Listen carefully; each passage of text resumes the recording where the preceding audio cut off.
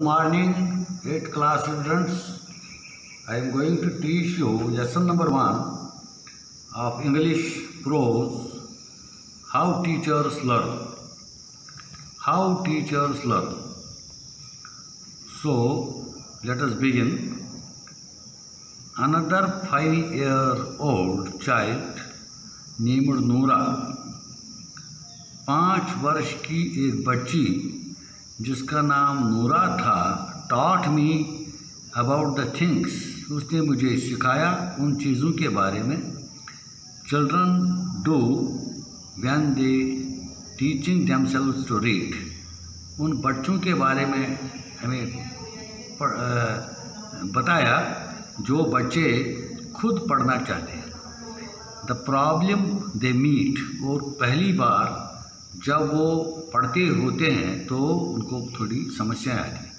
At the way they solve और वो तरीका जिससे वो सॉल्व करते हैं प्रॉब्लम को और ट्राई टू सॉल्व जब या कोशिश करते हैं उनको हल करने की, उनको ठीक ठाक लिखने की I was visiting her family for a weekend मैं हफ़्ते के आखिर में उनके परिवार में जाया करता था। ये एक टीचर बोलता है।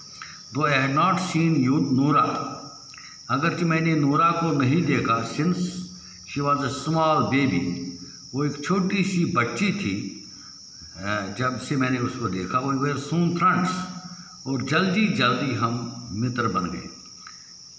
समटाइम्स ड्यूरिंग द डे कभी कभी दिन के समय when I seem to have nothing to do जब मेरे पास कोई कुछ काम करने को नहीं होता था she came up to me with a book in her hand वो अक्सर आया करती थी अपनी बुक के साथ, हाथ में लिए एंड आस्कड और पूछती थी if I would help her read out read it क्या मैं उसकी सहायता करूँ इसको पढ़ने में, इस बुक को पढ़ने में?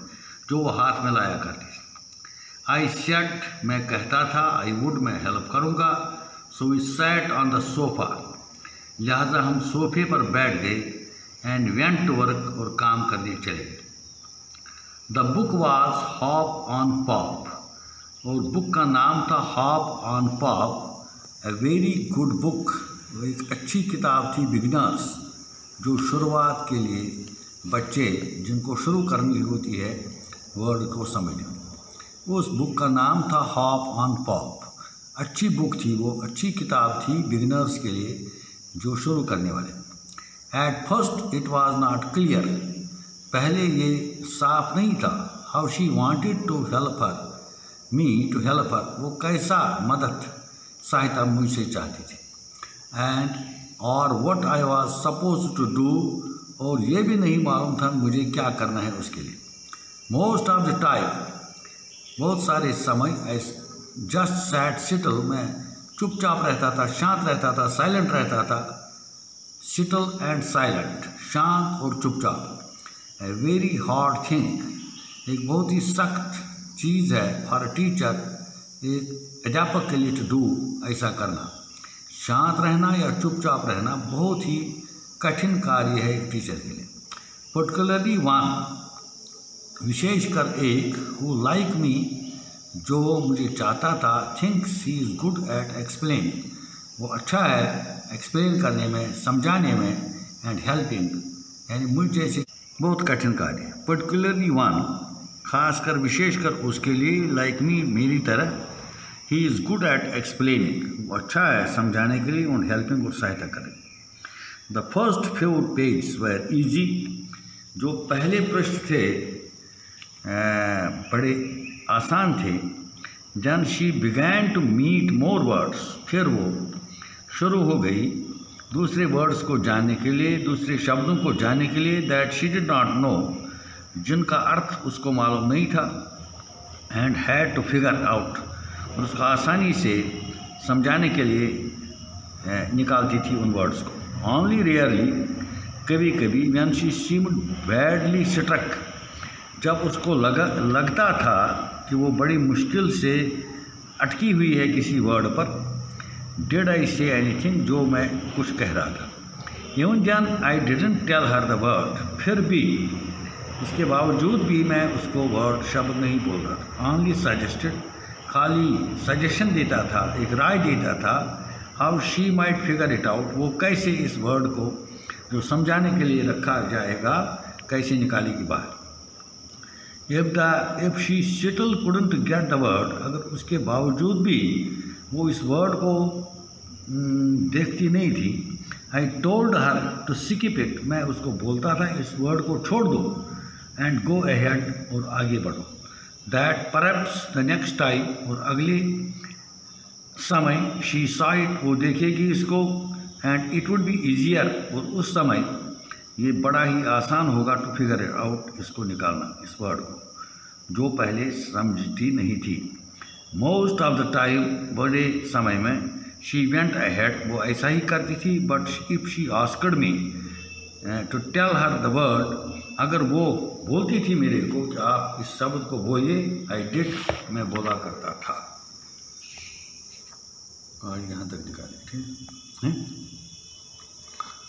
बिफोर लॉन्ग उससे पहले एंड और और थिंग हैपन्ड एक अजीब घटना घटी।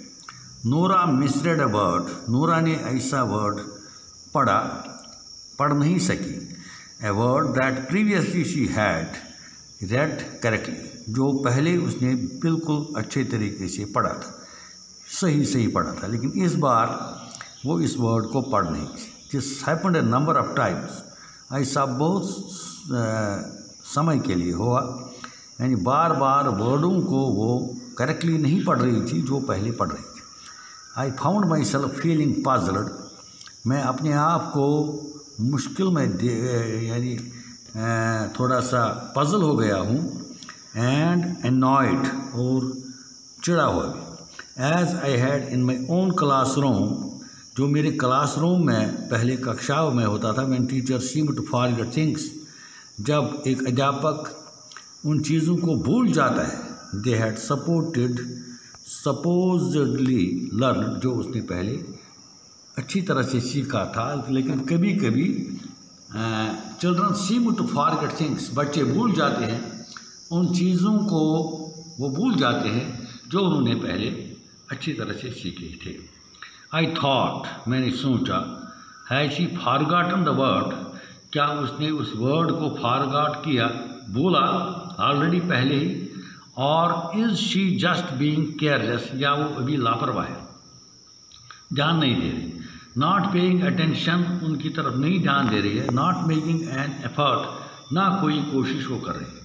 But this was not it ऐसा कुछ नहीं था। Obviously she was in the book वो एक किताब पढ़ रही थी as well as she could उतनी अच्छी तरह जितना वो कर सकती थी।